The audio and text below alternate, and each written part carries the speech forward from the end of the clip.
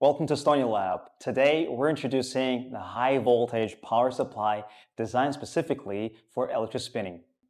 This power supply delivers positive high voltage, making it ideal for various electrospinning experiments. With rapid voltage and current transient response, it provides a maximum output voltage of 30 kilovolt and ready current of 1 milliampere ensuring compatibility and reliability across all different electrospinning applications. Featuring an LED digital display and rotary knob control, this device offers an intuitive operation experience. It comes with a 1.5 meter long, 5.5 millimeter wide unshielded high voltage cable with an alligator copper clip for the output end.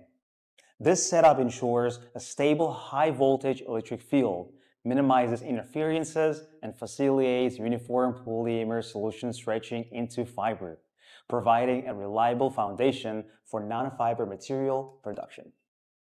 Please note, the external cable of this device is non-detachable. It only supports external discharge and does not have an internal circuit loop, making it unsuitable for applications requiring a closed circuit. Stony Lab high voltage power supply stable, efficient, and built for long-term continuous operation. Thank you for watching.